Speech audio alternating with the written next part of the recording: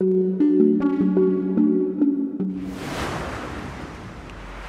is the first VHS recording as requested by my therapist. He wanted me to record these to help them study about my schizophrenia. Every time I go into my home after a day at the office, I tend to see things. I feel as if something is living in my walls, knocking and scratching the inner pain.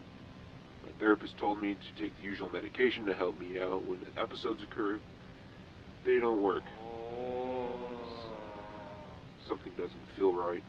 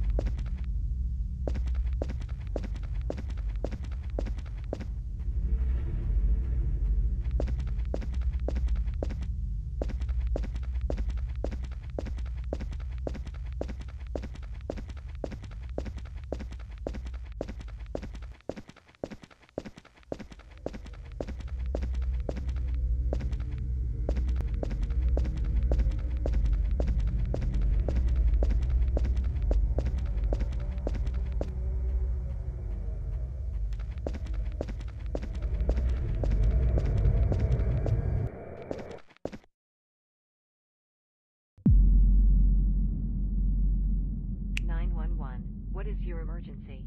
I would like to file a missing report on my son. Okay. Can you tell me his name? Jason. His name is Jason. Where was he last seen and how long has he been missing? He was last seen going to his friend's house down the road, and he has been missing for six hours. Can you describe him to us? He was wearing a green hoodie and blue sweatpants. What is the address? Blocks Avenue. All right. We'll send someone to check it out.